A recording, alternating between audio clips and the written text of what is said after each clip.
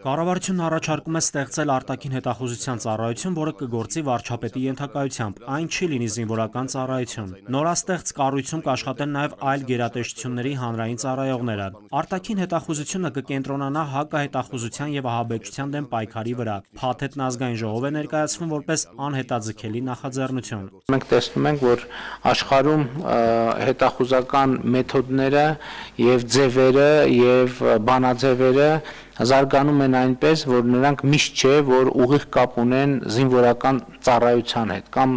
զինվորական բնույթի ծառայության հետ եւ մենք այս առումով որոշում ենք կայացրել եւ դա նշված է նաեւ Հայաստանի միջև 2050 թվականի վերափոխման ռազմավարության մեջ ստեղծել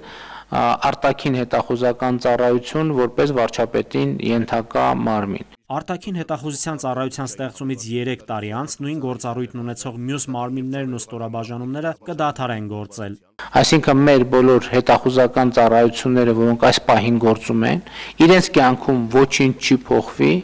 այնքան ժամանակ, մինչև մենք չհամոզվենք, որ նոր ստեղծված արտաքին հետախուզական ծառայությունը կարող է կլանել այն գործառույթները, որոնք իրականացվում է ազգային անվտանգության ծառայության հետախուզության դեպարտամենտը եւ դեռ մի բան էլ ավելին նոր նոր այսինքն ի վիճակի է լիարժեք առանց որևէ վնաս հասցնելու մեր կարողություններին դա իրա, դա իրականացնել եւ պատշաճ մակարդակով։ Կառավարությունը խստացնում է հսկողությունը շինհրապարակներում, աշխատանքի եւ տեխնիկական անվտանգության, օդի եւ շրջակա միջավայրի աղտոտման նորմերը խախտողները կտուգանվեն նվազագույն աշխատավարձի 50 ապատիկի չափով։ Վթարային իրավիճակներ ստեղծողների տուգանքը կկազմի 400 000 դրամ։ Ավելի բարդ դեպքերի համար 300 ապատիկ եւ երբ որ վթարներ է առաջացնում 400 ապատիկի դեպքում այնտեղ նույնպես պետք է խստացումներ անենք եւ շատ արագ կանենք կներկայացնենք ստանանք հավանություն որ մտնենք փոփոխություն ազգային ժողով խոսքը մեր շինհրապարակներում ստանդարտ սահմանելու մասին է, թե շինհրապարակը ինչ վիճակում պետք է լինի, այնտեղ աշխատողները ինչ ինչ վիճակում պետք է լինեն, ինչ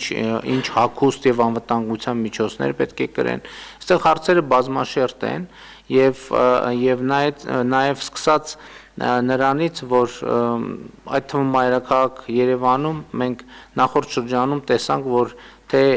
փոշու ինչպիսի աննախադեպ մակարդակ կա, երբ որ շինարարության ծավալները այո շատ մեծ